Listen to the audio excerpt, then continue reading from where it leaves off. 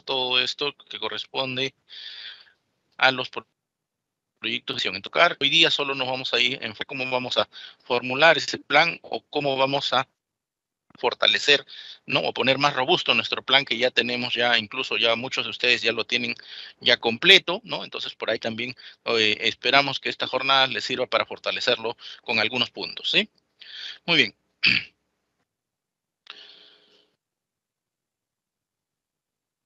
Las temáticas para esta mañana tenemos cuatro. Una es competencia digital docente, la otra eh, vamos a invitar, este, tenemos un invitado que es el especialista David Calapuja, que nos va a informar sobre la implementación de la estrategia de alfabetización digital ya en el plan de emergencia. Vamos a ver un poco también qué se, cómo se relaciona gestión del aula virtual con nuestro plan de asesoramiento docente, ¿ya? Eh, recuerden que el plan de asesoramiento, muchos le ponen plan de capacitación, también es válido, ¿sí? No, o sea, el, nombre no va a cambiar el, el, fondo de lo que nosotros este, implementemos como acción formativa, ¿sí? Muy bien. Y finalmente vamos a ver el plan de asesoramiento. Muchos de ustedes lo llaman el plan de capacitación, es válido. No, no, no, no difiere mucho, ¿no? En cuanto a lo que contiene dentro y, y la acción que ustedes desarrollan, ¿sí? Muy bien. En ese sentido, entonces, como toda jornada, vamos a recoger saberes previos, ¿ya? Vamos a recoger saberes previos, ¿ya? Recoger los saberes previos tomando en cuenta la consulta siguiente. ¿Cuáles son las necesidades y demandas de los docentes con relación a las competencias digitales? ¿Ya? Ustedes al aplicar su cuestionario, su encuesta eh, a su docente para saber necesidades, ¿Cuáles fueron esos resultados? ¿Qué necesidades y demandas han evidenciado? Podemos responder ingresando a www.menti.com con el código 94624426 o también pueden hacer lectura rápida del código QR, ¿sí? Entonces, respondemos, ¿cuáles son las necesidades y demandas de los docentes con relación a las competencias digitales? Yo voy a ir presentando este, en los resultados, voy a copiar el enlace directo también en el chat para poder participar, ¿de acuerdo? Voy a copiarle el enlace directo para poder participar también rápidamente. En el chat lo voy a colocar.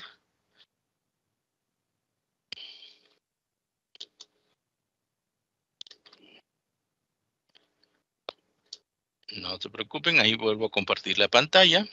Ya voy a compartir la pantalla. Muy bien, algunos ya estamos ingresando, perfecto.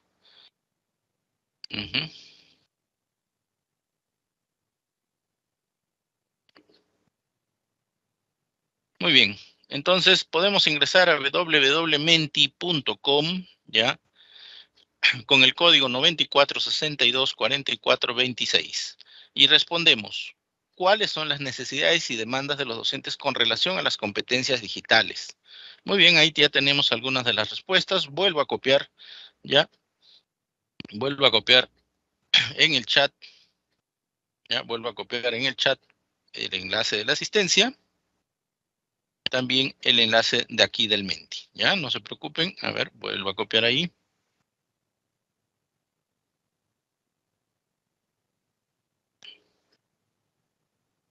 Muy bien. A ver. Vuelvo a copiar el Menti para que ustedes vayan participando. Vayan participando. Y si tienen eh, algún problema de ingresar al Menti, lo pueden hacer también a través del chat, ya, de aquí del, team, del Teams. Pueden también escribirnos respondiendo la pregunta que tenemos en pantalla. ¿Cuáles son las necesidades y demandas de los docentes con relación a las competencias digitales? ¿Sí? Muy bien, ahí entonces estoy colocando el enlace del Menti. No se preocupen, vuelvo después a colocar ya el enlace de la asistencia. No, no hay dificultad. Estamos en esta dinámica del Menti, por favor participemos.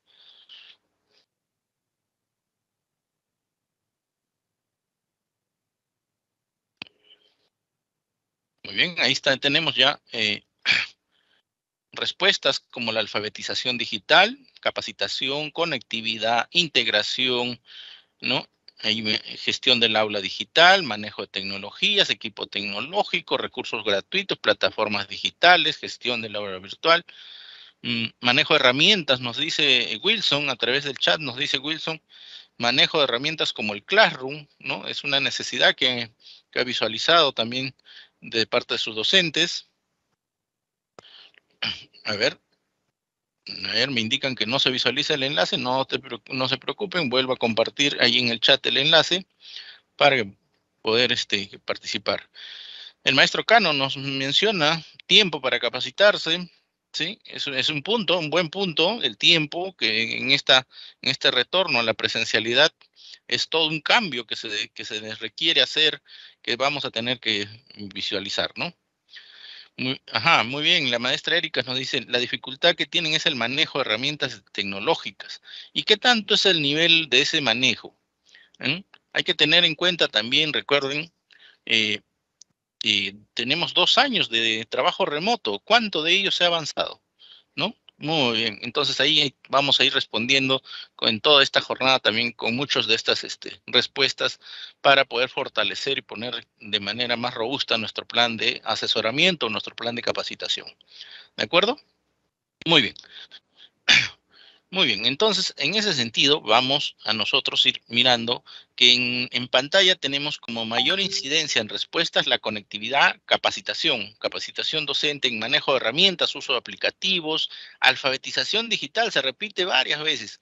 Y allí eh, nuestro invitado del día de hoy, eh, el especialista David Calapuja, nos va a brindar también algunos alcances sobre ese, ese tema y cómo va a ser de manera trascendente también en nuestro plan de capacitación o en nuestro plan de asesoramiento docente. ¿De acuerdo? Muy bien.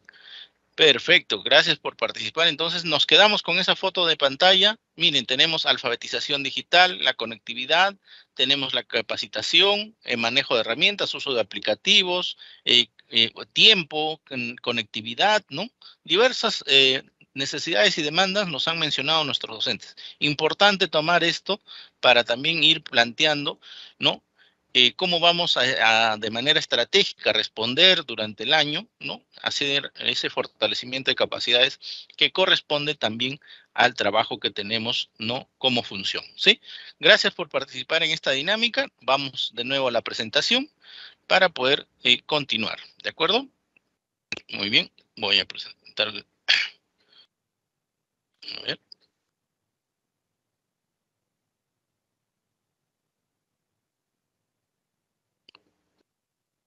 A ver, nuevamente. Mm.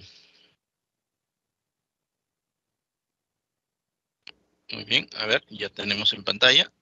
Entonces, hemos respondido aquí a la pregunta, ¿cuáles son las necesidades y demandas de los docentes con relación a las competencias digitales, verdad? ¿No? Ustedes han mencionado alfabetización digital, herramientas digitales, plataformas, conectividad y diversos factores. Entonces, a partir de esas consultas, vamos a ir mirando también nosotros ya cuáles son esos retos y desafíos frente a esta eh, nueva modalidad que es el retorno a la presencialidad o semipresencialidad. ¿Qué retos y desafíos tiene este docente? Un punto en el cual tenemos que enfocar también dentro de nuestro plan de capacitación, el plan de asesoramiento, es la gestión del tiempo y del cambio. ¿no? ¿Cómo a este docente de aula le vamos a ayudar a gestionar los tiempos, organizar también con el uso de la integración de las tecnologías el tiempo y el cambio porque después de dos años de estar en trabajo remoto han cambiado todo, ¿no? Incluso los negocios han cambiado, la forma de, trabajo han cambiado, entonces también el docente ha cambiado, ha, ha, buscado ya otras estrategias, ¿no? Que requieren también la integración de tecnologías. ¿Cómo vamos a hacer desde, nuestra parte con la, incorporación de las tecnologías digitales el acompañamiento socioemocional y de acondicionamiento del estudiante y del docente? ¿Cómo vamos a hacer esa, línea transversal que es muy necesaria? Hay muchos chicos que han perdido familiares, hay muchos chicos que han movilizado, se han movilizado de, zona por la, emergencia sanitaria. Entonces, ¿cómo estamos haciendo todo este acompañamiento socioemocional? Identificar los procesos de aprendizaje del estudiante, ¿no? Ha cambiado, ¿no? Ahora a, experiencias de aprendizaje y cómo ya el estudiante se ha empoderado del uso de las tecnologías en esta emergencia. Entonces, esos procesos han cambiado. Hay que identificar nosotros también desde nuestra, nuestra función cómo vamos a poder mejorar eh, y también tener las herramientas para ayudar a nuestro docente de aula.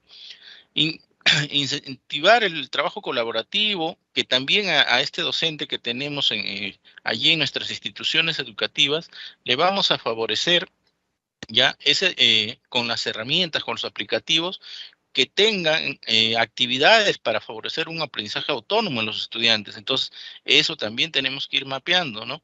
El uso de estrategias metodológicas para un, aprendizaje híbrido. Tenemos dos años de, de, trabajo remoto. ¿Cuánto de ello se queda para poder seguir eh, fortaleciendo, ¿no? Y logrando también el desarrollo de competencia de nuestros estudiantes. Entonces ahí va a haber todo un trabajo que tenemos que ir. Y finalmente, implementar la competencia digital en el docente y los estudiantes. No, solo vamos a ayudarlos a, mejorar los procesos, sino cómo en este docente también lo vamos a hacer competente digitalmente y pueda responder. ¿no? Estos son los retos y desafíos frente a lo que ustedes también respondían en la dinámica, en, lo, en las demandas y necesidades en cuanto a competencias digitales.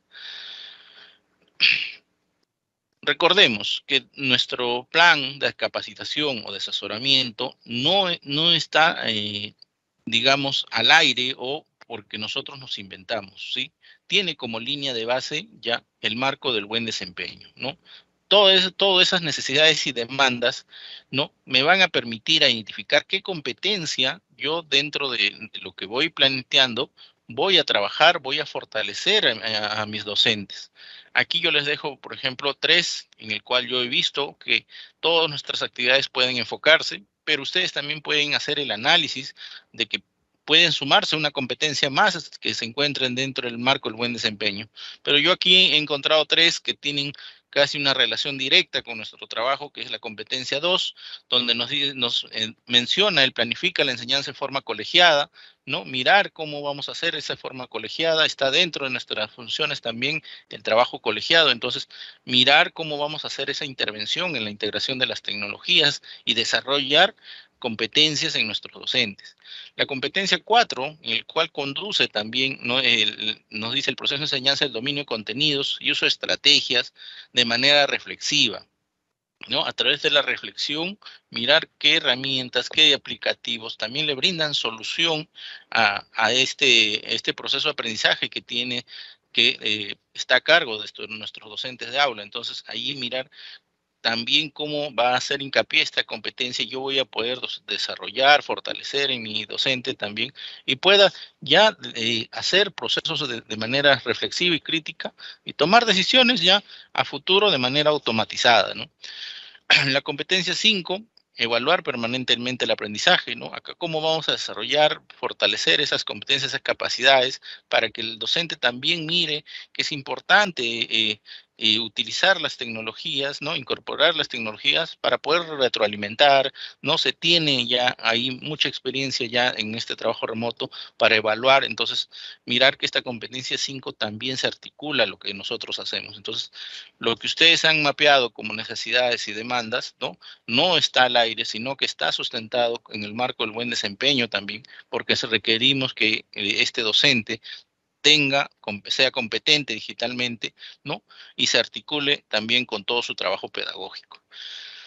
No olvidando que podemos también tomar como referencia ya la competencia digital docente que está en el currículum de este eh, currículum nacional de formación inicial docente, ya en la competencia 11, ya allí también nos habla ya de, manera más específica que es una competencia digital, donde ya nos enfoca que debemos reflexionar sobre los desafíos, mirar la identidad digital, cómo eh, esta incorporación de tecnologías hace la mediación de aprendizajes y también la atención a la diversidad. Entonces, tenemos dos documentos base que sí deben estar dentro de nuestro plan de capacitación o plan de fortalecimiento docente, en el cual son el marco del buen desempeño docente y podemos también tomar como referencia el currículo nacional de formación inicial docente, ¿no? En la competencia 11.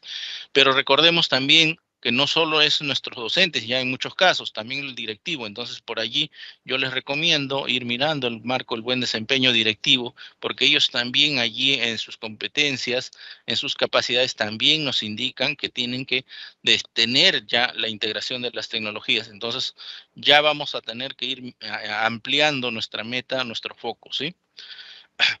Considerando que a partir de esta competencia eh, digital, nos menciona que existen capacidades, ¿no? Son cinco capacidades en el cual una de ellas es gestiona los entornos virtuales, ¿no?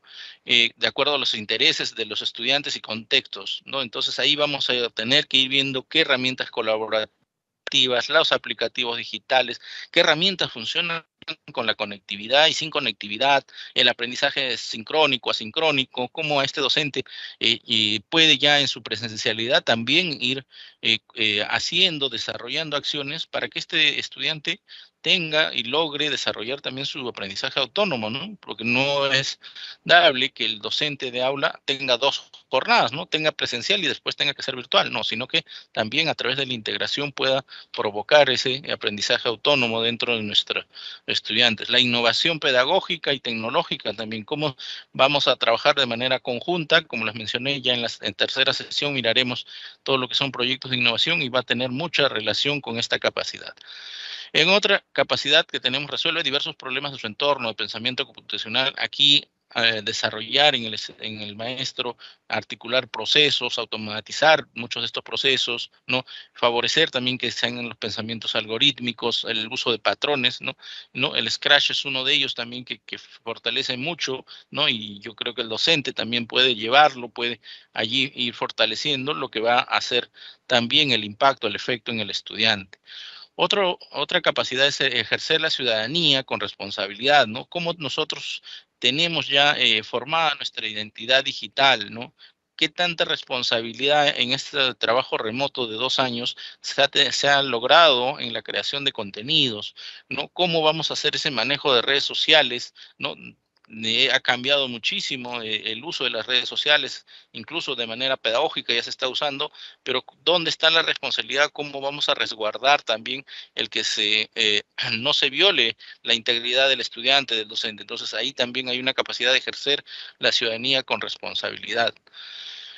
Tenemos otras dos capacidades en las cuales eh, nos menciona gestión, gestión e información en entornos eh, digitales, ¿no? Cómo estamos eh, utilizando la gestión de almacenamiento de contenidos, ¿no? Ahora que se tienen las cuentas de Aprendo en Casa, se están usando las cuentas de Aprendo en Casa, cómo se está haciendo eso en, la gestión del aula virtual, del Classroom. Entonces, esa capacidad también nos, nos mencionan este, que es, es, una de las importantes, porque también no solo hay este, las cuentas de Aprende en Casa, hay también el Dropbox, la nube, ¿no? Entonces, hay diferentes, cómo el, el docente y también el estudiante están logrando eh, usar, hacer aplicativo esto dentro de sus aprendizajes, entonces esa capacidad importante también tenerla mapeada en las acciones que vamos a implementar en nuestro plan de capacitación, de asesoramiento. Y finalmente gestionar herramientas y recursos educativos, ¿no? Herramientas para el aprendizaje híbrido, todo lo que se ha, se ha ganado ya en, en potencializar en herramientas en esta emergencia sanitaria, pues aprovechemos ahora en este retorno a la presencialidad o semipresencialidad, qué plataformas de comunicación ya se han ido usando, muchos han dejado el WhatsApp, ya están en el Telegram, otros ya, este, ya son, este, han usado, están usando las videoconferencias, ahí hay que ir mapeando dónde se requiere mayor fortalecimiento para que también se vaya trabajando con todo esto eh, en gestionar las herramientas considerando siempre, ¿no? Que todo esto, todo este trabajo en fortalecer las capacidades digitales en el docente, en el directivo y en el personal de la comunidad educativa, va enfocado, ¿no? A fortalecer el, desarrollo de las competencias dentro del estudiante, ¿no?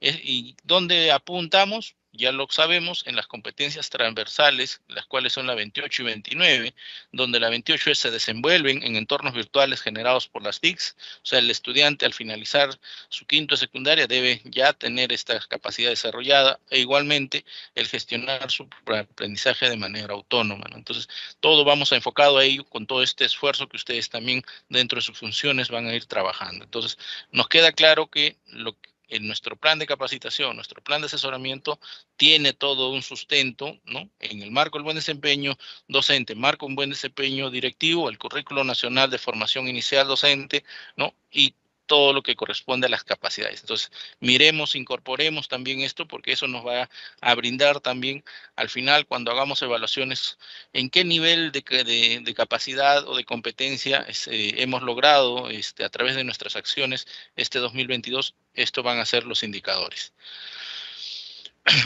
Y a partir de ello, dentro de nuestras funciones como profesor de innovación pedagógica, según la resolución viceministerial 034, publicada el 30 de marzo, ¿no?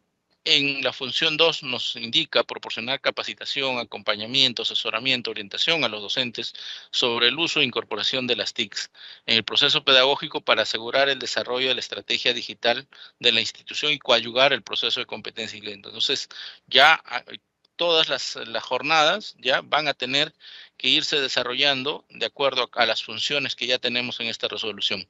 Esta ah, segunda sesión va apuntando, ¿no? Eh, a esta función 2, ¿no? Entonces ahí a partir de esto ya nos piden hacer un plan, un programa de acuerdo a la dinámica que ustedes manejan implementarlo, tomando en cuenta que tenemos que brindarle este acompañamiento, este asesoramiento a los docentes, ¿no? Que va a incorporar a veces muchas acciones porque no todos los docentes se encuentran en el mismo nivel, entonces ahí va a tener que irse articulando diversas acciones. Para ello, eh, el día de hoy tenemos eh, como invitado a David Calapuja, un especialista de la DITE, quien tiene toda una acción que nos va a explicar en cuanto a, la implementación de la estrategia de alfabetización digital, ¿no? Y tengamos ahí atentos porque nos va a, aperturar también nuevos actores al cual vamos a tener que incorporarlos dentro de nuestro plan de capacitamiento o de asesoramiento, ¿sí? Hay que estar atento entonces. Voy a este, dejar de presentar para darle el pase a... A ver, un ratico. Vamos a ver. Perfecto. A ver, ahí está. Voy a darle el pase a David. Listo, David. Muy buenos días. David. Activa su Sí, eh, buen día. Si logra escucharme, Ronald. Te escucho claro y fuerte, David. Eh, bien, a ver, voy a en todo caso tener listo para activar.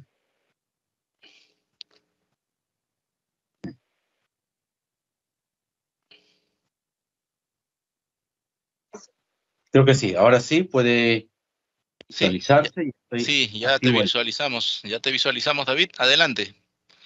Bien, este, gracias Ronald. Eh, en primer lugar, darle un saludo muy especial a todos quienes estamos reunidos en esta sala, a Ronald, especialista, que está como responsable de estas acciones, y también a todos los eh, profesores de innovación pedagógica, según la nueva denominación de la norma, y también a quienes están eh, sumándose en este trabajo de esta mañana.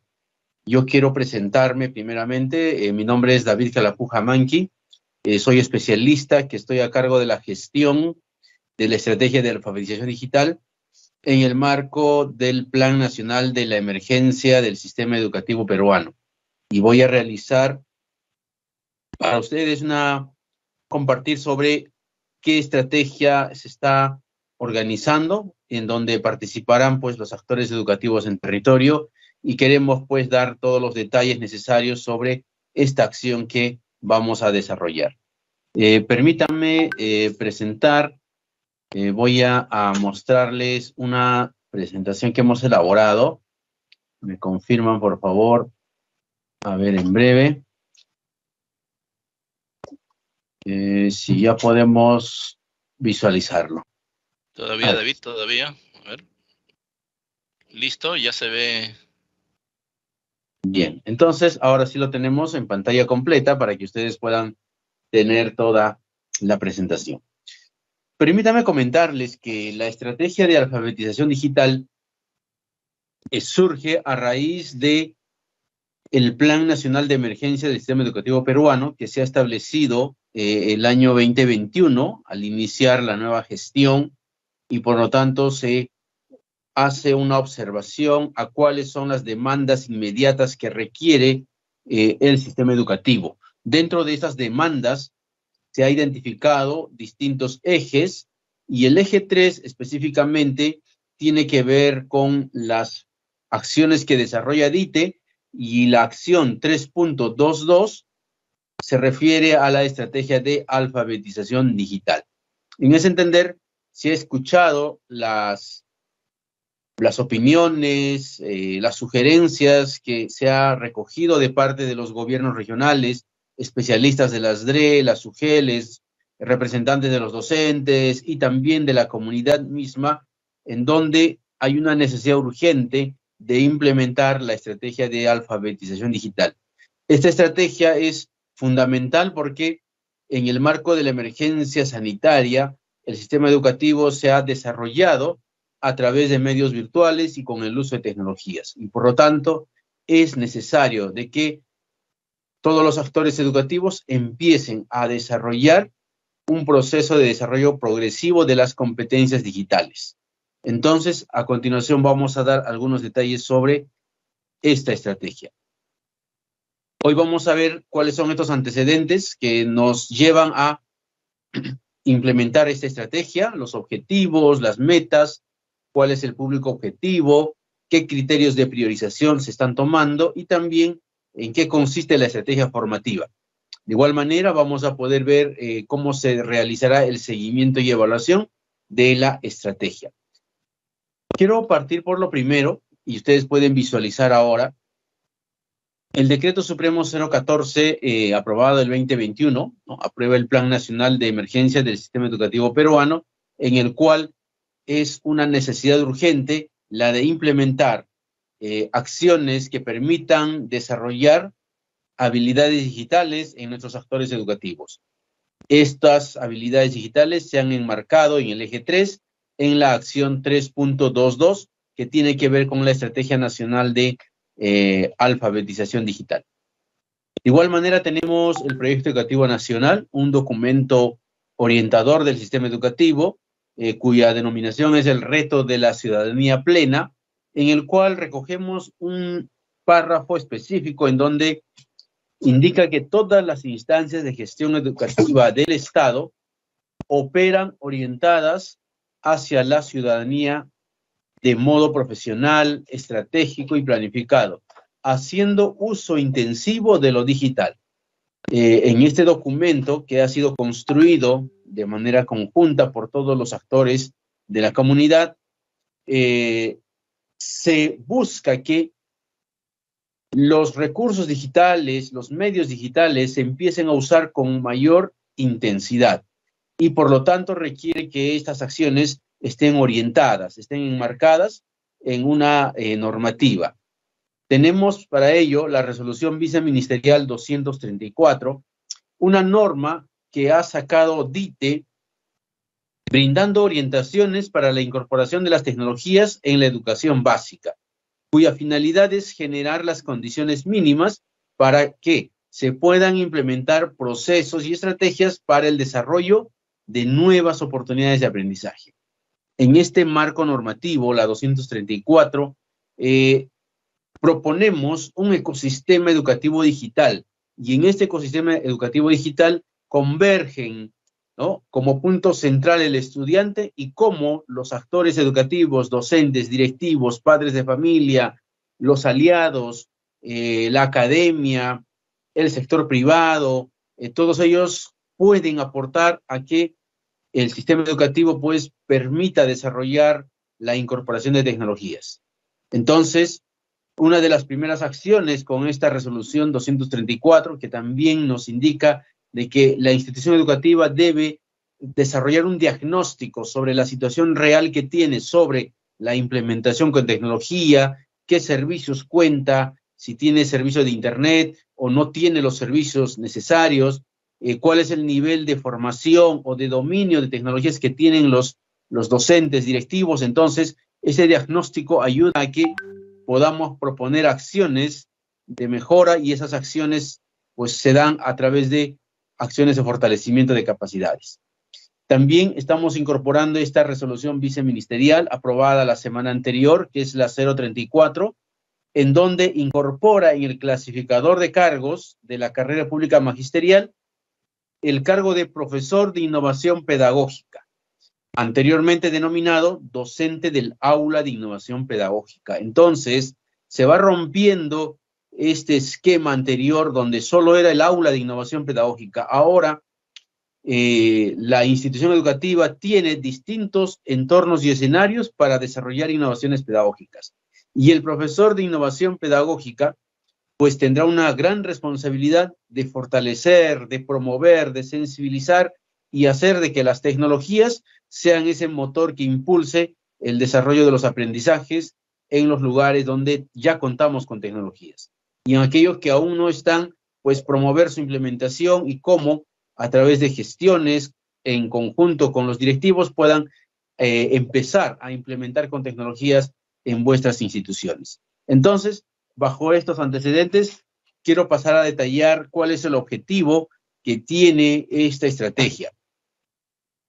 Nuestro objetivo general es brindar nuevas oportunidades para la alfabetización digital en la comunidad educativa, con la finalidad de desarrollar habilidades digitales que les permitan buscar, interpretar, comunicar, construir información pertinente para su uso significativo en la vida cotidiana.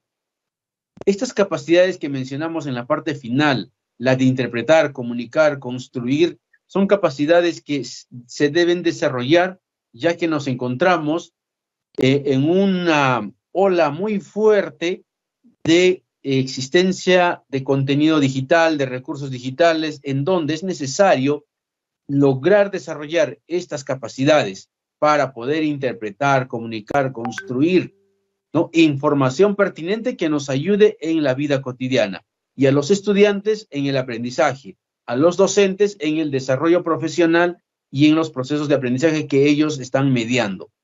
Por lo tanto, eh, se establecen dos objetivos específicos. Una de ellas orientado a un actor que está directamente vinculado con el aprendizaje. Y este objetivo es la de contribuir en el desarrollo de habilidades de alfabetización digital de los actores educativos, para la mejora en el proceso educativo, con el uso, aprovechamiento pedagógico e innovación con tecnologías. Aquí miramos tres niveles en donde se van a iniciar aquellos docentes que es el primer contacto con las tecnologías o no están aún teniendo ese dominio, pues tendrán un contacto sobre el uso de las tecnologías que tienen disponibles, sea un dispositivo tableta, computadora o laptop, eh, para luego ir avanzando a un aprovechamiento pedagógico y aquellos que ya están encaminándose en ese proceso, poder lograr la innovación con tecnologías. Eh, buscamos de que ustedes como profesores de innovación pedagógica puedan desarrollar estas innovaciones y hacer no solamente buenas prácticas, sino difundirlas y compartirlas al interior de su institución educativa en, eh, en coordinación con los docentes y directivos con los cuales a diario ustedes van interactuando. El otro objetivo específico va orientado a sensibilizar y promover el conocimiento de una ciudadanía digital en la comunidad educativa, que es lo más inmediato, para contribuir al ejercicio de una ciudadanía digital en su entorno local. Al momento de utilizar con mayor intensidad los recursos tecnológicos, herramientas tecnológicas, es necesario también desarrollar este ejercicio de la ciudadanía digital. Por lo tanto, a través de este objetivo vamos a ampliar la mirada y no solamente este, atender a aquellos actores directamente vinculados con el aprendizaje, sino también a otros actores de la comunidad educativa que eh, requieren el desarrollo de esta ciudadanía digital.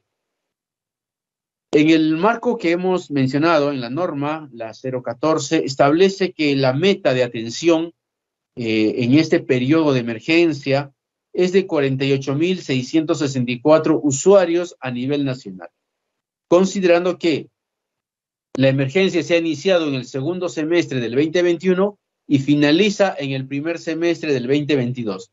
Es decir, todas las acciones están enmarcadas a desarrollarse hasta el 30 de junio. Si bien es cierto, esta es la meta de, usuarios para atención que tenemos en este periodo, la estrategia de alfabetización digital y las acciones que ustedes promuevan pueden extenderse durante todo el año. Y en el marco de la emergencia, nosotros tenemos como límite hasta el 30 de junio para poder alcanzar este número de usuarios. Es, una, es un número bastante retador, eh, pero también eh, con bastante coordinación con ustedes, con el apoyo de todos los las, las DRE, las UGELES, las instituciones educativas, podemos alcanzar y superar esta meta propuesta. Quiero también compartirles eh, quién es el público objetivo al cual va orientado esta estrategia. Ah, nosotros tenemos un público vinculado con el proceso educativo de manera directa. Eh, este público objetivo son los docentes y directivos que han sido priorizados de la fase 1 y 2 del plan de cierre brecha digital y que cuentan o están en un escenario con conectividad. Es decir, docentes y directivos que han recibido tabletas y que van a recibir tabletas en la fase 2, eh, están ya en este año eh, iniciando esa distribución. Los que tienen el plan de datos o el acceso a Internet son aquellos que están priorizados para participar en esta estrategia. Otro público eh, objetivo es docentes y directivos, auxiliares de educación y personal involucrado con el aprendizaje, que pueden ser eh, los auxiliares de biblioteca, personal de laboratorio y otros que están vinculados con el aprendizaje, que anteriormente no tenían oportunidades de formación con tecnologías, ellos pueden participar y que en sus instituciones cuentan con el profesor de innovación pedagógica. Es decir, vuestras instituciones de ustedes pueden participar en estas acciones. De igual manera, ustedes mismos pueden participar también de estas estrategias que estamos desarrollando. Eh, tenemos otro actor que son los coordinadores de red y coordinadores administrativos de las redes educativas rurales. Son dos actores que en varias regiones ya del país está focalizado y se tiene organizado las redes educativas rurales. Esas redes educativas eh, tienen la gestión de un conjunto de instituciones educativas, sean unidocentes, multigrados o polidocentes, del nivel inicial, primaria o secundaria. Y por lo tanto, estos coordinadores de red participan y además ellos ayudan en la gestión para que los docentes de estas instituciones también participen de la estrategia. Eh, la mayoría de estas instituciones están comprendidas en el ámbito rural. Entonces, ese es otra, otro público objetivo al cual vamos a llegar con la estrategia. Y finalmente, aquellos docentes, directivos de instituciones educativas en ámbitos urbanos, que tal vez no cuenten con un profesor de innovación pedagógica, pero sí tengan conectividad, tengan acceso a servicios de Internet, entonces pueden participar de la estrategia estos profesores que se están iniciando en el desarrollo de habilidades digitales, es decir, que aún no han avanzado y están dando sus primeros pasos en el uso de tecnologías. Porque alfabetización digital es la base sobre el cual se van a desarrollar las otras habilidades digitales, ¿no? Entonces, es importante partir de esta estrategia. Con respecto al otro público objetivo, está vinculado a los padres y madres de familia y también autoridades líderes de la comunidad. Eh, estas autoridades eh, que están vinculados con la educación, pero no directamente con el aprendizaje, deben participar y los padres y madres de familia también, porque sus hijos ahora, al usar tecnologías, necesitan ser orientados a cómo deben desenvolverse en un entorno digital. Entonces, estamos eh, nosotros focalizando también a estos actores para que puedan participar. Ahora comparto los criterios de priorización. Eh, estos criterios están generalmente vinculados con el proceso educativo, personal docente de institución educativa, que está dentro del plan de cierre de brecha digital, eh, y, las otras que hemos mencionado, que tengan o no formación previa en alfabetización digital, ya sea por el Ministerio de Educación o por alguna otra entidad, y si es algo importante que ellos puedan contar con un dispositivo electrónico, es decir, un celular eh, una tablet o una laptop o computadora que les permita acceder a los recursos que se van a plantear en la estrategia. Otra acción importante es también contar con el servicio de Internet. Entonces, es lo mismo para los, este, para los que están vinculados con el ejercicio de la ciudadanía digital, es decir, padres y madres de familia cuyos hijos han sido beneficiados con tabletas o tienen ya utilizando tecnologías y que puedan ellos acceder a través de ellos es importante que ellos desarrollen estas acciones. Ahora, eh, quiero pasar a detallar cuál es la estrategia formativa. Una de las estrategias formativas son los cursos virtuales y tenemos un curso virtual que ya está en etapa de implementación y pronto a iniciarse. Y la segunda estrategia sería los ciclos de webinar, que voy a detallarlo más adelante. Entonces, el curso virtual que se está proponiendo es el de desarrollo de habilidades digitales. Tiene una duración de ocho semanas, eh, otorga una constancia de 100 horas a los que culminan con todas las actividades y puedan aprobar este curso virtual. Está previsto el inicio para el 18 de abril a través de la plataforma de Pereduca y el proceso de inscripción está previsto del 7 al 17 de abril durante estos días para que puedan eh, ingresar a Pereduca, hacer su matrícula y también desarrollar las acciones de la encuesta de inicio que vamos a proponer. Con respecto a, a qué va a desarrollar el curso, el curso virtual está organizado en tres unidades. La primera unidad, alfabetización digital y mediática, en donde en las tres sesiones que, va a tener esta unidad, se inicia con aquel marco conceptual sobre alfabetización digital y alfabetización de medios, ¿no? Eh, ¿Cuáles son aquellos conceptos fundamentales que debemos conocer? Luego pasamos a cómo generar estrategias con simuladores, con situaciones prácticas, qué estrategias para la búsqueda de información en Internet podemos utilizar. Entonces, de manera interactiva, amena, a través de locuciones que se han ido realizando, van a poder participar de esta dinámica en el curso. Y la sesión número tres tiene que ver con la gestión de la información en entornos digitales. Algo importante para todos los actores vinculados con el aprendizaje. ¿Cómo gestionamos la información en entornos digitales?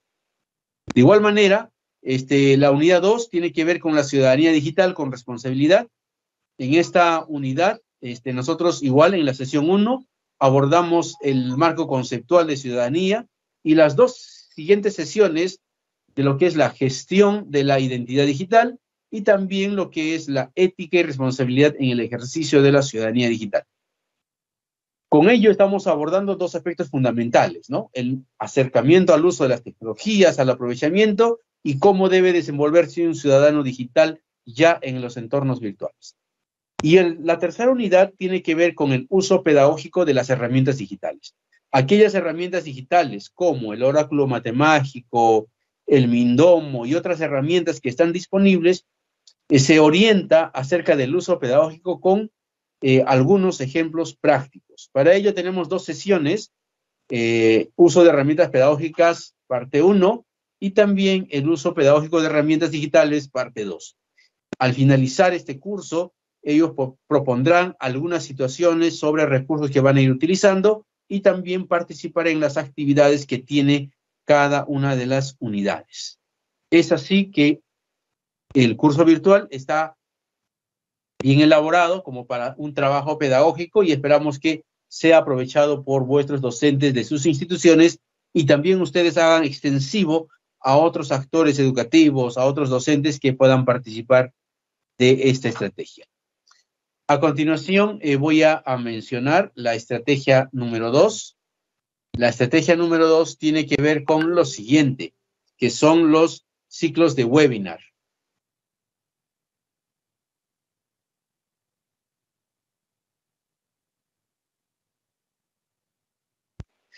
Entonces, eh, este ciclo de webinar está previsto y se denomina Desarrollo de la Ciudadanía Digital. Eh, tiene una duración de cuatro sesiones, cada sesión de dos horas, en total ocho horas. Se va a desarrollar a través del canal en vivo de Pereduca y está previsto para desarrollarse a partir del 10 de mayo, martes y jueves, y termina el 19 de mayo.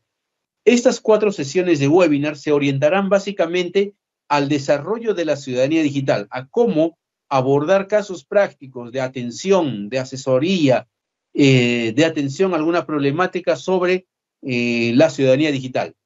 Eh, se va a enfatizar en lo que es en lo que es la identidad digital, en lo que es lo que tienen que ellos tomar en cuenta, qué medidas para desenvolverse de manera segura en las redes sociales y entre otros, para que estén los padres en familia, las autoridades y todos los ciudadanos puedan participar de este ciclo de webinar. Será una movilización que a nivel de cada DREUGEL se organicen y que puedan participar la mayor cantidad de personas.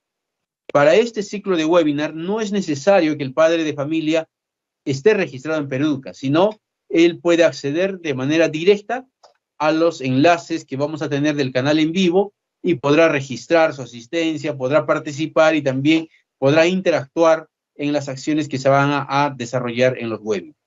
Entonces, tenemos dos estrategias, perdón, una estrategia formativa con dos acciones que son el curso virtual y el ciclo de webinar.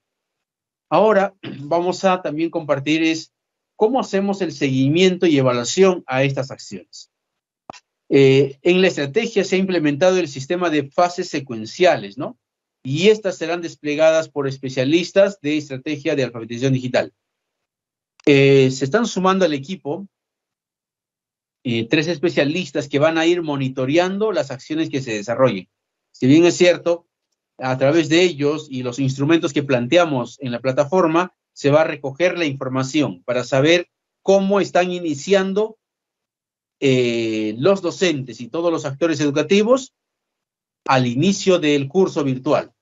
Eh, hacemos nosotros un seguimiento a las actividades, a la participación, recogemos esa información, hacemos una evaluación y generamos reportes. Estos reportes para que ustedes como profesores de innovación pedagógica, sus docentes, puedan estar avanzando en el desarrollo de sus actividades y del aprendizaje y poniendo en práctica también aquello que van aprendiendo. Entonces, esos reportes vamos a tenerlos para el Ministerio de Educación, para las instituciones educativas y ustedes nos ayuden en alertar y en animar a que los docentes terminen las estrategias formativas que estamos proponiendo. Finalmente, queremos lograr que los aprendizajes que ellos obtengan en este proceso puedan ponerlos en práctica y de esa manera ellos puedan desarrollar una gestión del conocimiento de manera ágil, de manera fácil y puedan lograr mejor desarrollo profesional. Es esto lo que hemos querido presentarles a ustedes y si hay alguna consulta, alguna duda sobre algún punto, es momento de que ustedes puedan escribirnos en el chat o tal vez escribirnos o activar su micrófono ahí con el apoyo de Ronald para poder atender esas dudas o consultas que aún se presentan. Muchísimas gracias, Ronald. Estoy dispuesto a escuchar y atender las preguntas. Sí, sí, David, gracias por la información. Muy bien. Eh, pueden levantar la manito para poder este, aperturarles micrófono y también David nos vaya resolviendo sus consultas. Ahí ya tenemos, este, a ver, eh, Eliseo Alaba. Eliseo, muy buenos días. Ya puedes activar tu micro dándole un toque o un clic en el micrófono que tienes en pantalla.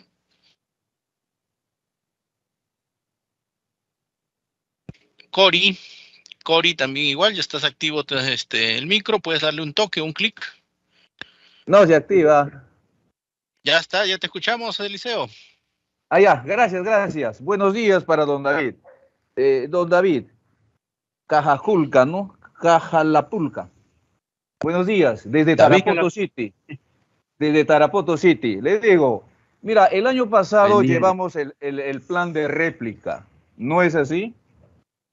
Y, este año también está habiendo una eh, réplica, doble réplica.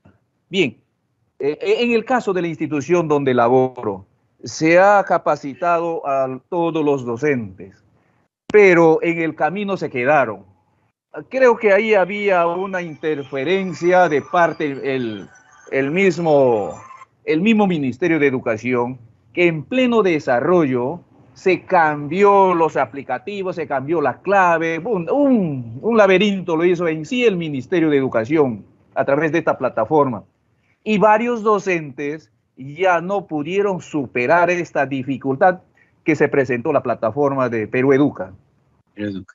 Bien, pero al margen de, esa dificultad se ha logrado como un 80% culminar.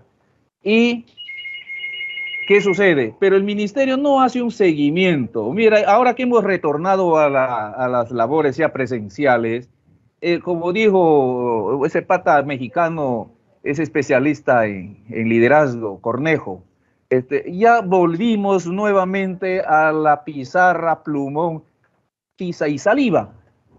Mira, entonces frente a esta realidad, porque es una realidad, ¿no? A pesar que el maestro ya conoce este, mínimamente eh, este uso de estas herramientas, porque el Classroom se ha, se ha trabajado en mínima proporción, Entonces, ¿qué hace el ministerio a través de sus especialistas o, quién hace el seguimiento como acabas de mencionar? E, entonces, hemos avanzado mínimo, pero no hay nada que hacer. Entonces, frente a esa dificultad, ¿qué hacer? Porque el maestro, mire, se habló ahí, eh, eh, Ronald Ramos presentó su, su plataforma para ver de los retos esto, la conectividad, ¿cuándo se va a superar esto? Mira, eh, hay momentos que a Ronald Ramos le escucho diferido y a usted también, ¿no? Yo estoy en el centro de la ciudad de Tarapoto. Este problema de la conectividad, ¿cuándo se va a superar? Si no se va a superar, entonces pues este, el trabajo es mínimo. Otro, la voluntad del maestro. Eh, no habemos ya, como dijo este pata también, este eh, Luis Alberto Sánchez, viejos a la tumba y muchachos a la acción en la, institución donde estoy, pues la mayoría ya estamos ya próximos ya al descanso, ¿no? Mira, entonces, haciendo todo ese contexto, eh, debemos de ver, pues, maestros, por ejemplo, que manejan hasta hoy día desde un celular. Es imposible trabajar, eh, hacer una clase, por ejemplo, en Classroom a través de un celular, ¿no? Eh, que muy, muy preciso y oportuno sería contar con una laptop pero una laptop también que reúna las condiciones, mínimamente debe ser una i5. Mira, frente a esas dificultades, ¿qué estrategias, por ejemplo, va a tomar el Ministerio de Educación para ver, pues e, este proyecto es excelentísimo, a mí me agrada esto, pero yendo ya a la realidad, cambia la figura. Pero ustedes tienen la palabra. De repente podría ser eh, eh, que a través del ministerio hacer un seguimiento más estricto, pues, al maestro, ¿no? Podría ser. Bien, Eliseo. Gracias, muy amable, buenos días. Gracias, gracias, gracias por tu participación. No sé, este, David, ¿tenemos ahí alguna respuesta para Eliseo? Sí, según, según el, escenario que nos comenta Eliseo, eh, hay algo importante allí, eh, hay algo importante que menciona, justamente el tema de la conectividad. Y para este, este primer momento de la estrategia nosotros proponemos para un escenario con conectividad, pero a la vez se sigue trabajando en recursos y herramientas que eh, puedan también ser ágiles en un escenario sin conectividad. Entonces, eh, ya estamos viendo estos recursos que están en la web ahora, cómo los pueden tener en un escenario y que no requiera conectividad y que hay una zona rural eh, donde no hay servicios, sí puede ser útil. O sea, estamos trabajando en ello y pronto tendremos que darle novedades al liceo. Además, eh, el año pasado se ha logrado, sí, hacer varias acciones y han utilizado, pero el maestro ahora tiene el reto también de que los estudiantes le van a exigir usar tecnologías, ¿no? Y por lo tanto, él necesita continuar formándose, es decir, ha usado un periodo, pero ahora debe continuar ese proceso y hacer un hábito. Lo que usted dice lo último, ¿no? A veces hay docentes que ya están cercanos a cumplir un tiempo de servicio, a cesar, pero ellos no dejan de ser ciudadanos. Eh, mientras estén ahí, van a ser ciudadanos y por lo tanto deben desarrollar esas habilidades y por lo tanto el ser humano eh, no deja de aprender, o sea, no hay edad para seguir aprendiendo. Hay que motivar en ese sentido. Esperamos tener buenos resultados y que ellos puedan participar también en estas acciones. En lo de Pereduca ya hay un cambio de una nueva versión, estamos en la versión 4.0 y creo que se han ido superando ya esos aspectos.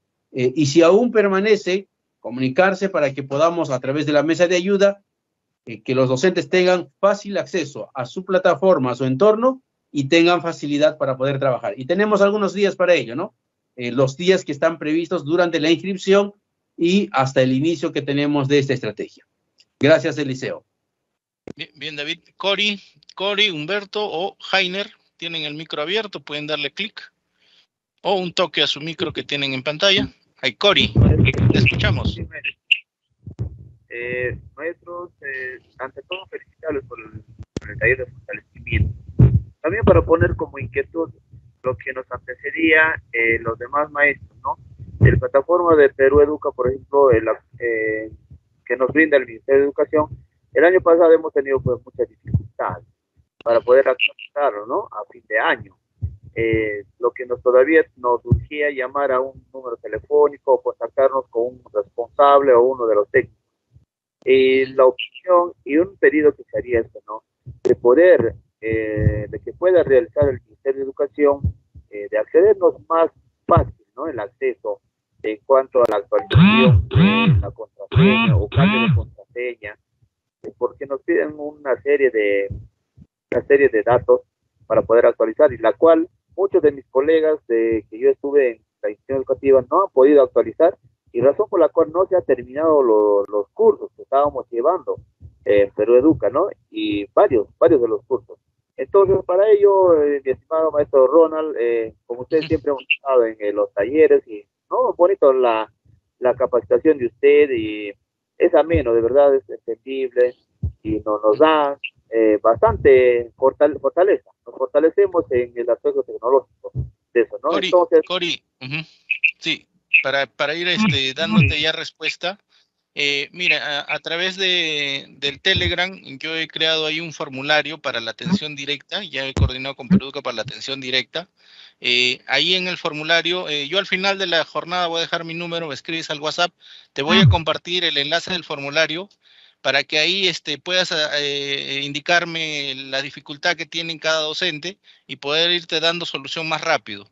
Sí, yo sé que llamando a veces a mesa de ayuda, mesa de ayuda también tiene diversos casos y se, tienen eh, mucho recarga. Entonces, por ahí hemos planteado, tomando en cuenta eh, que ya se viene el curso que nos mencionó David con diversos actores y se va a aperturar la comunidad, sí queremos que todos los, ustedes, los David, ya tengan el acceso y, sus colegas también. En ese sentido, eh, como les digo, he creado ahí un, formulario para que ustedes me indiquen y le vamos atendiendo más rápido, Cori. ¿De acuerdo? Excelente, maestro. Entonces, estamos a la espera de su número telefónico, sobre todo, para poder contactarnos en WhatsApp y es mejor para poder nosotros también facilitar a nuestros colegas. Muchas gracias, un abrazo para todos. Gracias, Cori, por tu participación.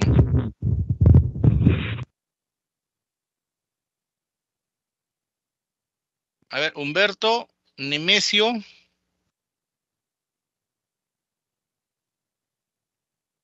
Herminio. Nemesio Rodríguez, Herminio Vega, puede darle un toque o un clic a su micrófono. Muy buenos días, ¿me escuchan? A ver, eh, Herminio, te escuchamos claro y fuerte.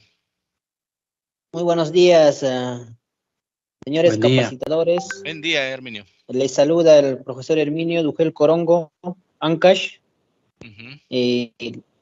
este año estoy asumiendo el de docente ahora de innovación Anteriormente estaba laborando como CIS, pero mayormente en el colegio que, he encontrado no, no, no existen los equipos tecnológicos y los docentes prácticamente, por gusto nosotros los de las TICs, hemos em, capacitado, hemos sacrificado el tiempo, ¿no? Pero lamentablemente los docentes creo que vamos a regresar a educación de tradicional, ¿no? Por ejemplo, puedes, no, no, no están aprovechando, ¿no? En caso de las tabletas, las tabletas mayormente los estudiantes ya tienen todos los malogrados y no hay internet para poder trabajar. En caso de Perú Educa, las constancias para nosotros no nos sirven. Cuando vamos al concurso, no hacen valer el Minedo, no hace valer el UGEL, ¿no? Prácticamente en nada nos sirve solamente preparar nomás. Muchas gracias. Herminio, muy bien. Este, David, ahí en, cuanto a las constancias, ¿podemos darle respuesta, por favor? Eh, bien, hay algo importante eh, que nosotros como profesores de innovación pedagógica también debemos conocer, eh, que toda ah, capacitación o formación que da el Ministerio de Educación es de valor oficial y válido para poder registrarlo en escalafón. cuando usted lo registra, su constancia de cualquier curso recibido en escalafón es válido para evaluaciones. Ahora, si la comisión que evalúa no quiere hacer valer o no quiere, ahí hay que tomar acciones directamente con la comisión. Entonces, no generalizar un poco de que no, no pueda servir, sino la misma norma establece en el, en el sistema de escalafón, hay una acción cuando dice capacitación a través de Pereduca, a través de tal, y por lo tanto la constancia digital es válida ya que esta sale con un registro también. Entonces ahí sí yo les pido hacer valer los derechos en el caso de que algún jurado calificador no esté queriendo validar estas constancias. Entonces, la norma está dada, las DREUGEL reciben eh, oficios donde cómo deben registrar en el escalafón Ahora, no hay tampoco un mínimo de horas, ¿no? Algunos decían a partir de, de 100 horas en adelante. No, eso es, eh, se pueden registrar las horas necesarias que uno tiene de formación. Eh, no es una limitante. Por lo demás, yo le invitaría a que usted pueda empezar a gestionar y a movilizar la tecnología que existe allí. Eh, si bien es cierto, hay mucha limitación, pero partamos de algo importante, ¿no? Hay eh, gobiernos locales, regionales u otros que están empezando a implementar, o de gestión propia inclusive. Entonces, eh, quisiéramos que ustedes ahora, al haber recibido tabletas en el lugar donde estás, poder hacer un diagnóstico cuántas están en un estado de falta de actualización o tiene alguna, eh, alguna pantalla rota, hacer un diagnóstico porque este diagnóstico debe remitirse a la UGEL. Es decir, eh, dentro de vuestra función está, si hay tabletas en institución, hacer un diagnóstico, cuántas tabletas son, cuántas están en un estado de funcionamiento regular, cuántos tienen problemas de, de pantallas, de memoria, no sé, de conectividad. Entonces, hacer un reporte para que la UGEL haga el consolidado y ese consolidado también eh, la resolución ministerial que establece sobre el uso y cuidado de las tabletas, eh, está como la UGEL debe gestionar la forma de que estos equipos tecnológicos que aún están vigentes en funcionamiento puedan ser restablecidos y los medios necesarios.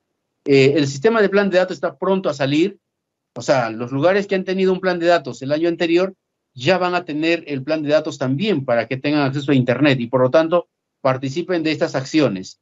Eh, ha cambiado el sistema de qué operadores van a dar el servicio, las condiciones son distintas y esperamos con esto ir mejorando. Eso te podría decir Exterminio y animarte a que sigamos participando de la formación, eh, hacer uso intensivo de tecnologías y sobre todo nosotros como líderes que somos en el lugar donde están, eh, hacer que la tecnología pues pueda transformar el entorno en donde estamos allí. Gracias, Herminio. Bien, David. Eh, a ver, dos últimas participaciones. Mateo Anaya tiene el micro abierto o Hedber, Hedber Waripaucar. A ver, denle un toque a su micro o un clic. Mateo Anaya o Hedber Waripaucar.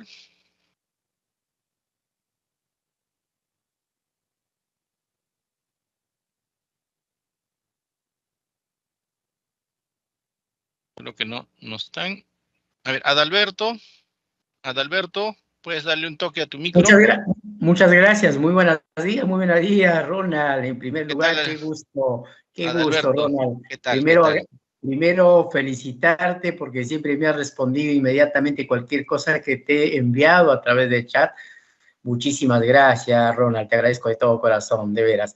Eh, pero lo que sí me está preocupando es el este, Ronald, eh, sabemos que para las instituciones educativas han mandado seis puntos, no sé, pero el caso es que, eh, el caso de los directivos, estos seis puntos han manejado más o menos al criterio de ellos.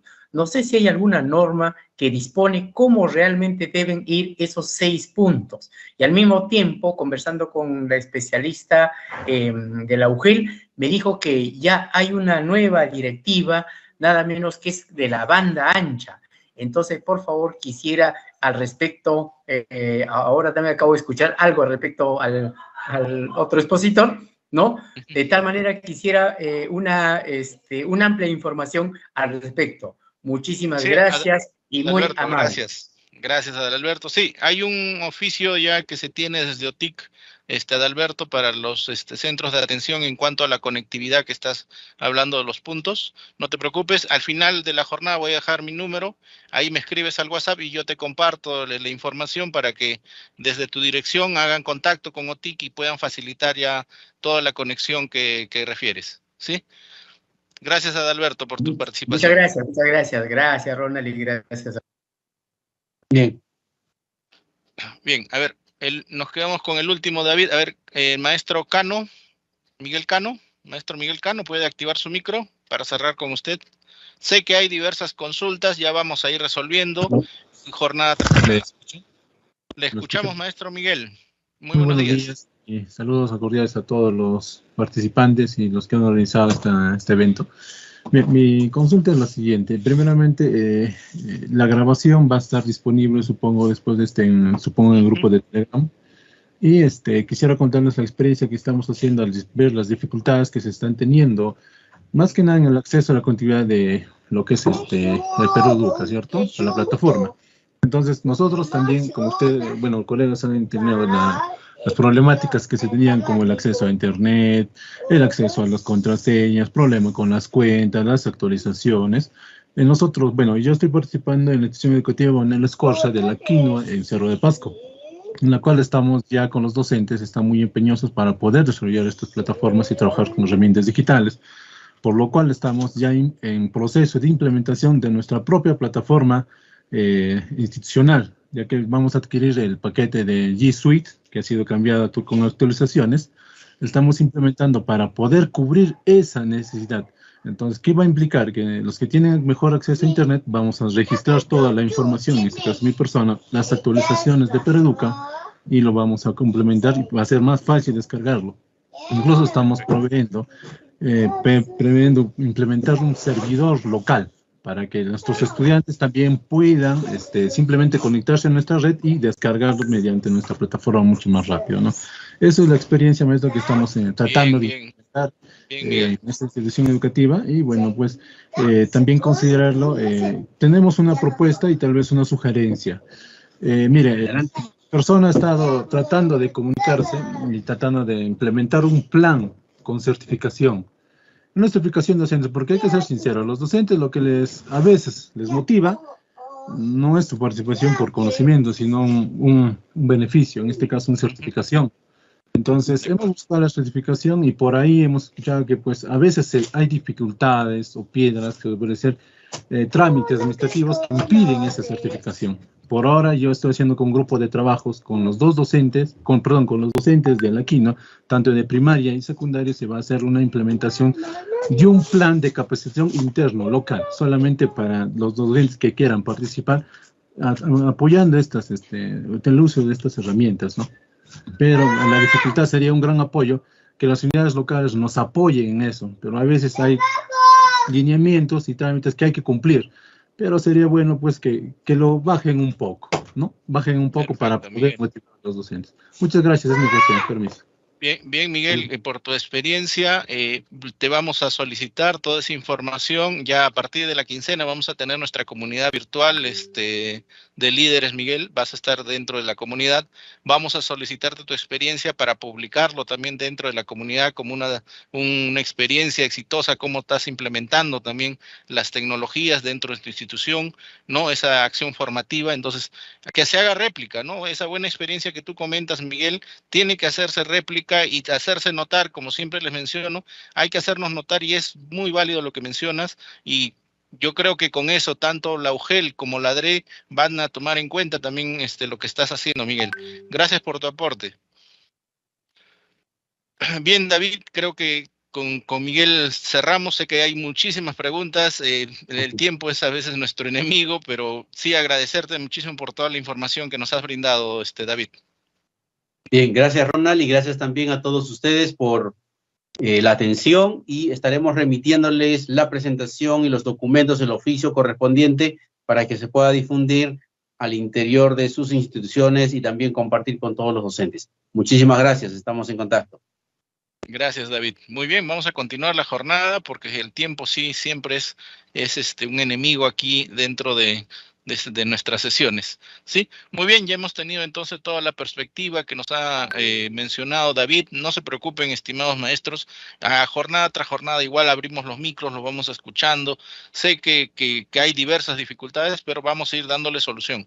Por eso es que cada quincena tenemos jornadas, así que no se preocupen, vamos dando solución a todo lo que ustedes también nos van reportando.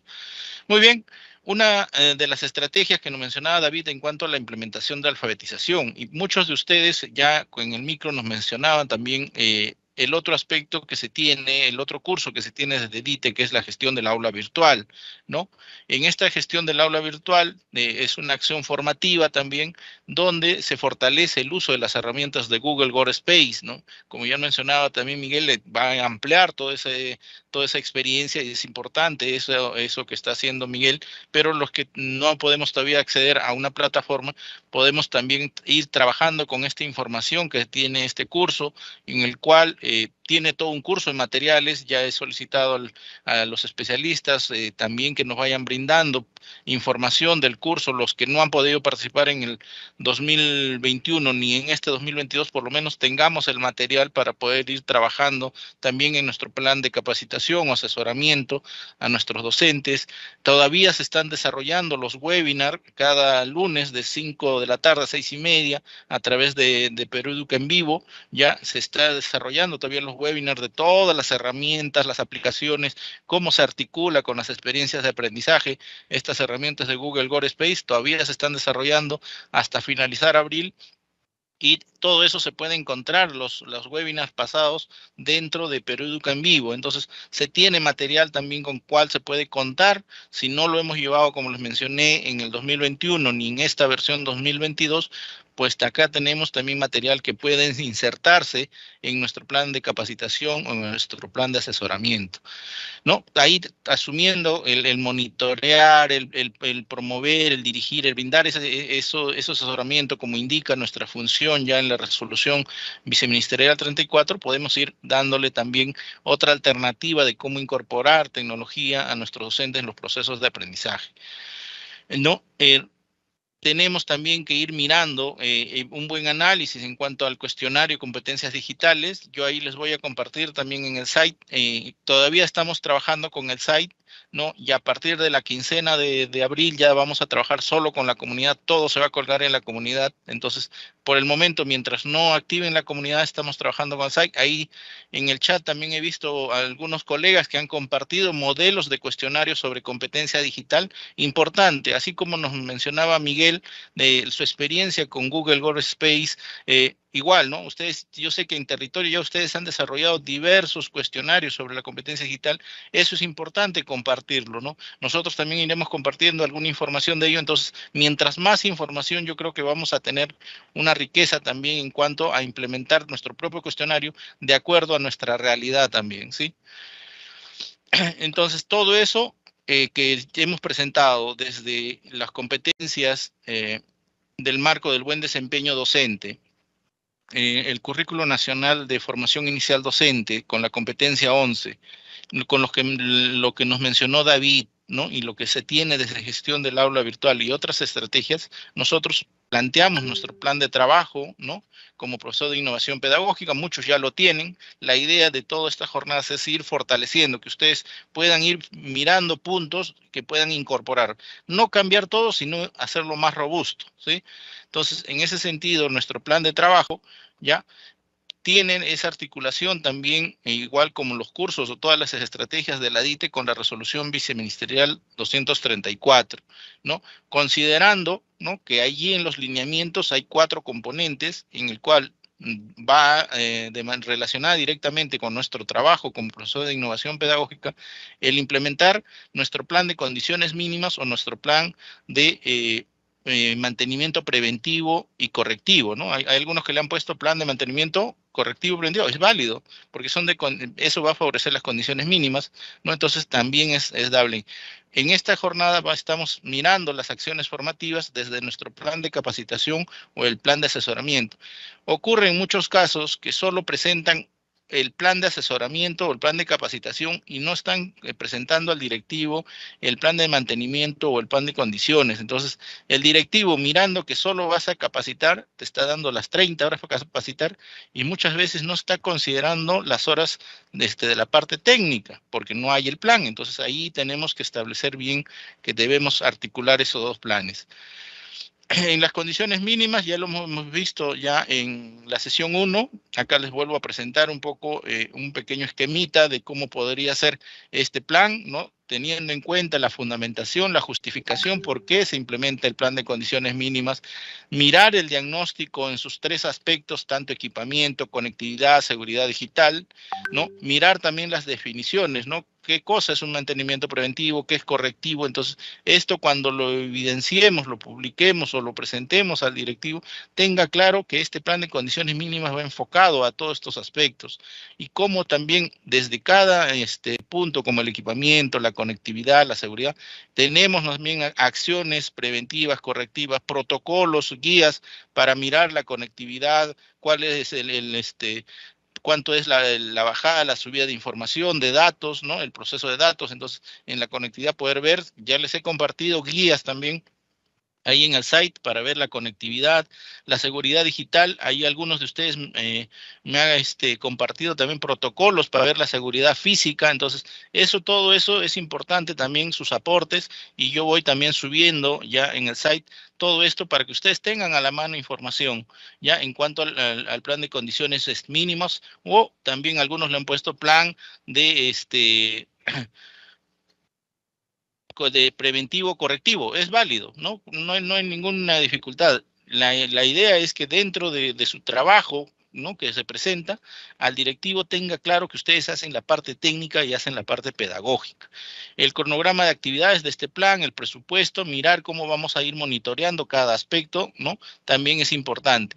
Recordemos también, igual lo hemos presentado en la sesión 1, ya, eh, ¿Dónde encontramos, por ejemplo, sobre el servidor escuela? Está en docente digital, hay ahí todo para descargar, implementar el servidor escuela.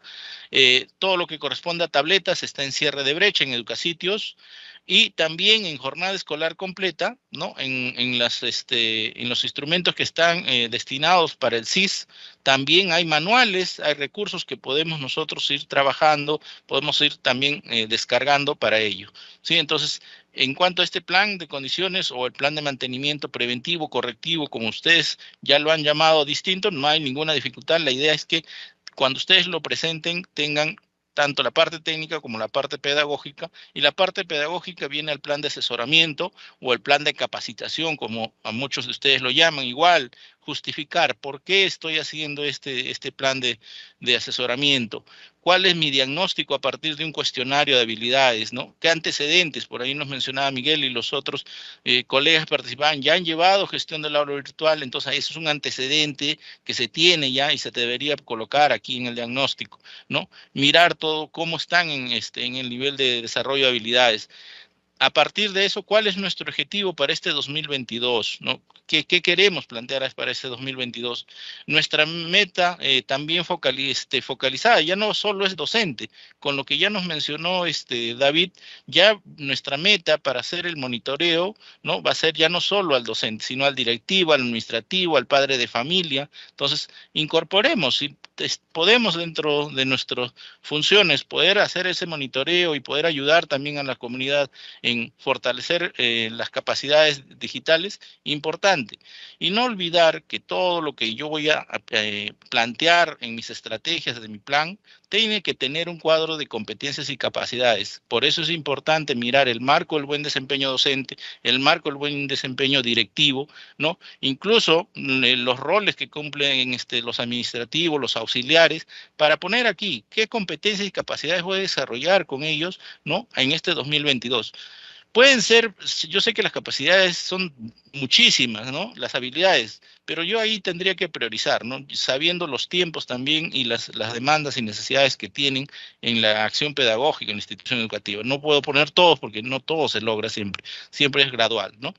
Y a partir de, de, esta, de este objetivo, de estas competencias ya priorizadas, ya planteo cómo va a ser mi asesoría pedagógica presencial, semipresencial, a distancia, en el curso, en los cursos virtuales, qué cursos voy a priorizar, cómo voy a hacer el acompañamiento allí, ¿no? Cómo voy a plantear también mi cronograma, ¿no? Para hacer mi estrategia formativa, para hacer el acompañamiento, con qué recursos cuento, ¿no? importante hacer el monitoreo y la evaluación también de mi plan de capacitación, de asesoramiento, cumplo, se está cumpliendo los objetivos, ¿no? Eh, hacerlo trimestral o semestral, de acuerdo a cada condición, a cada, eh, cada uno de ustedes, cómo tiene la dinámica educativa, ¿no? Entonces, el cumplimiento, desarrollo de los cursos se están desarrollando. Tengo 30 docentes todos están llevando, tengo 20, he focalizado 20 padres de familia en el curso de desarrollo de habilidades digitales, todos lo están desarrollando, entonces eso también ir viendo. Recordemos que en la comunidad también le vamos a brindar un espacio a David para ir comunicando eh, todo ese desarrollo y nos pueda poner información que ustedes puedan tener acceso y puedan también eh, trabajar e ir haciendo el acompañamiento correspondiente. ¿sí? Entonces, con esto yo creo que sí tenemos ya las cosas claras, estimados este, profesores de innovación pedagógica, estimados CIS, ¿no? Mirar que tenemos que presentar las dos, las dos partes. no, no solo me enfoco en, plan de capacitación, asesoramiento y dejo la parte técnica, porque ahí es donde muchas veces el directivo solo mira una parte que hacemos y a veces nos recarga en horas de muchas actividades. Entonces, evitemos eso, presentemos no lo que corresponde en cuanto a nuestras funciones. ¿sí? Tomando en cuenta eso, recordemos también dentro de la jornada de fortalecimiento que están planteadas para este año, que son 15, ustedes ya tienen el oficio 008, ¿no? 2022, son 15 jornadas, cada quincena tenemos jornada, tres días en doble horario con la misma temática, para que si no ingresé en un día, puedo ingresar en el otro y puedo participar y también fortalecer. Eh, la participación de las 15 jornadas con en la entrega de 15 productos en la comunidad me va a ser acreedor al final del año de una constancia de 120 horas, ¿sí? Entonces la comunidad y ya se va a aperturar la quincena, ahí ya van a ver eh, los alcances, también cómo voy a ir presentando los productos de cada jornada, ¿no? Para que también sean evaluados por mis pares, ¿no? yo entrego mi producto y le va a llegar a dos o tres eh, dos, este, profesores de innovación que me van a colocar la nota. Igual, a mí me va a llegar, ¿no? El trabajo de dos o tres que también yo puedo, tengo que evaluar para poder también tenga eh, su nota del producto mi, mi colega, ¿no? Entonces, esta estrategia eh, lo hemos planteado con el fin de que, como mencionaban en algunos de ustedes en, en micrófono, que sí siempre es válido un reconocimiento por hacer el esfuerzo, participar, estar motivados, insertarse, sí, mm, eh, para este año ya lo estamos haciendo, ¿no? Para que ustedes también sientan que todo el trabajo tiene al final un reconocimiento, ¿sí? Entonces, eh, en ese sentido, eh, creo que es, todo lo que tenemos el día de hoy para ustedes.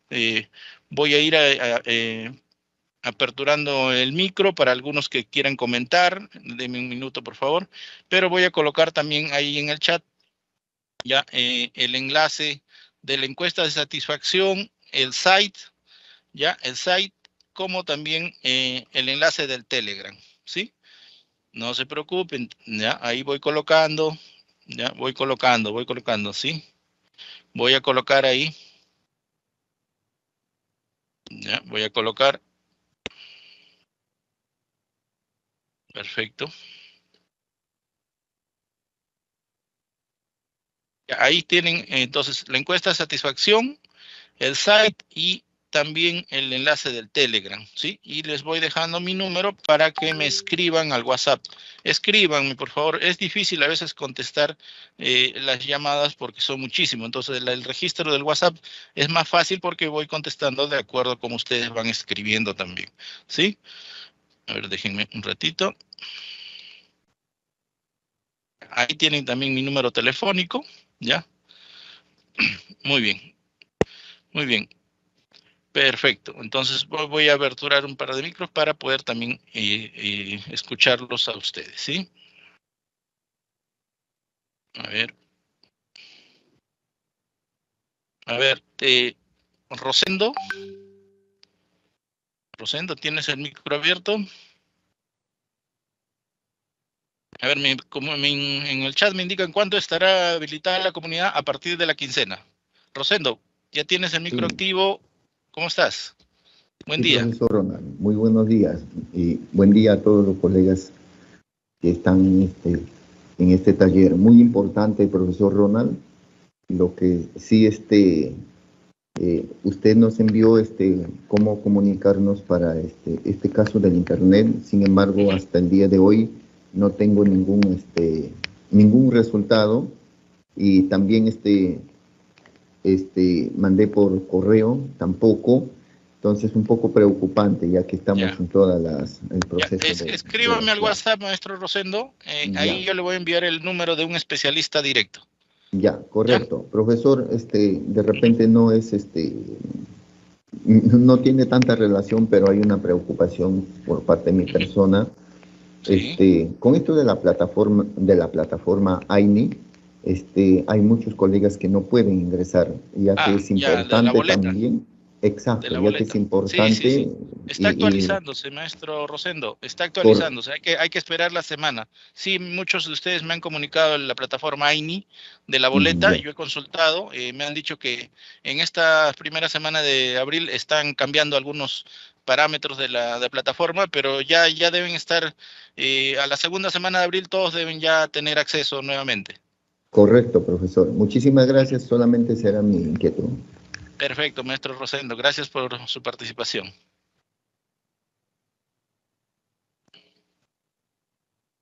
Bajamos la manito, maestro Rosendo, por favor. Zuli, Zuli Infantas. Zuli Infantas. Bueno, buenas, ¿me escuchan? Sí, te escuchamos. Buen día. Ah, bueno, buenos días. De Lima Provincias, mm, la provincia de Guaura. Bueno, este, primero saludar a todos los participantes, a todas las personas que nos se dignan de darnos este soporte. Eh, pero solamente, yo levanté hace rato, eh, quería solamente reforzar de que el común denominador de la problemática de las aulas de innovación es justamente la cognitividad eh, la, este, y la falta de este, herramientas digitales. Por ejemplo, en mi institución se cuenta con más o menos 90 XO, pero de las cuales en estos dos años de pandemia, como que las teclas se han pegoteado. Créeme que de este, tecla por tecla hay que ir dándole, dándole, dándole hasta que coja y poco a poco recuperar. Y de, de 20 que he hecho el intento, solo he, recuperado 11. Entonces, de, hecho, que ya, por eso digo que casi un 50% no. Pero el problema que esa se quiso, eh, los maestros no les agrada trabajar con ellos porque siempre eh, manifiestan de que son muy pequeñas, de que el mouse este, corre muy rápido, que se les escapa. Y en verdad es un problema porque solamente contamos con tres máquinas, eh, con tres CPUs eh, que ya también son del 2013. Entonces creo que eh, el clamor de todos los maestros de DAI es realmente, debe haber una renovación en toda esta situación de las herramientas en las aulas de innovación y este, la conectividad, eso por un lado. Por otro lado, justamente aquí este, nos han enviado este enlace. Eh, uno es la ficha de satisfacción y la otra exactamente no sé qué es, pero no abre. Eh, uno es el, este, la ficha de satisfacción, lo otro es el site y el otro es el enlace para el grupo de Telegram. Ya, veo que dos de ellos no abren, el otro de la ficha de satisfacción todavía no lo no, no, he abierto, pero no sé qué está pasando. no se preocupe, si no me escribe ahí a mi número WhatsApp y yo le, envío de nuevo los enlaces de maestra. Bien, ok, gracias.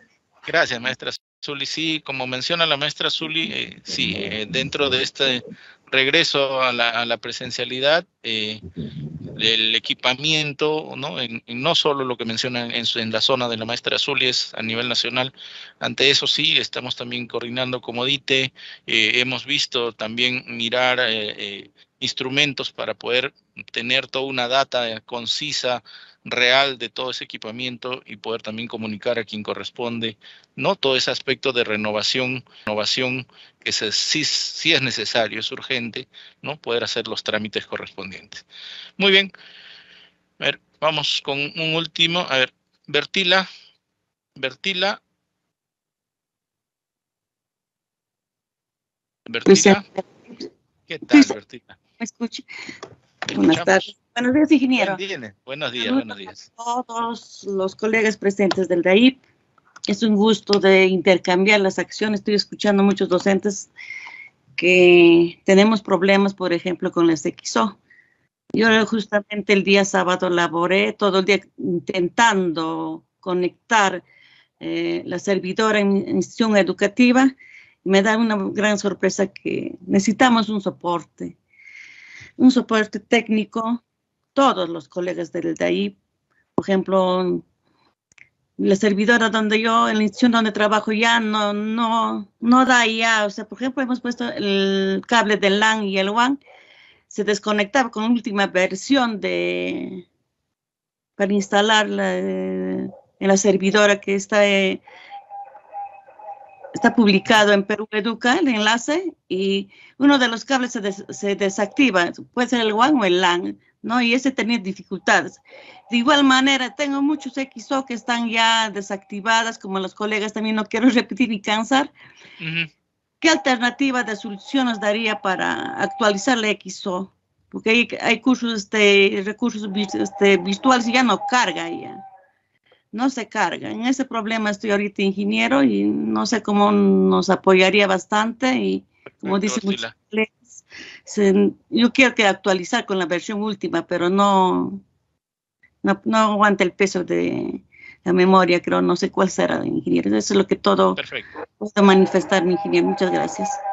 Perfecto, Bertila. Gracias por tu participación. En cuanto a, esa solución, ya vamos a actualizar también lo, que tenemos este, ya colgado en Educasitios. Ya vamos a actualizar, vamos a brindarle ahí, vamos a hacer la coordinación correspondiente con infraestructura de DITE para que nos pueda brindar también mayor alcance y pueda darle solución a lo que indica este, Bertila y la colega que ha intervenido anteriormente.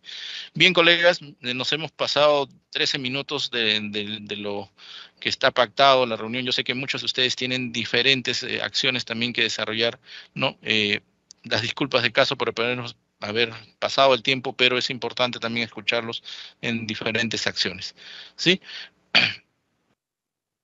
Muy bien. Sí, maestro, sí, me mencionan que las diversas dificultades en, cuanto al equipamiento que, se, que existen en, diversas regiones, sí, eso sí tenemos conocimiento. Vamos a también ir coordinando desde DITE eh, qué acción vamos a ir tomando. Ya les voy a ir comunicando también en las siguientes jornadas cómo vamos a ir viendo esa parte que es de manera urgente para ustedes. Sí, bien, estimados este, profesores de innovación, gracias para todos ustedes. Un gusto. Eh, haber compartido esta mañana con ustedes. Gracias, David, y por toda la información que corresponde.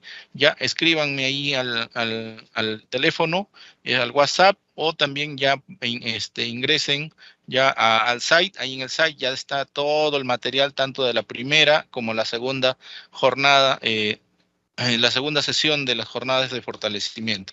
¿sí? Ha sido un gusto, gracias, eh, un abrazo a cada uno de ustedes y a seguirse cuidando, todavía estamos en emergencia, por favor, a seguirse cuidando. Nos vemos. Hasta la próxima jornada con ustedes.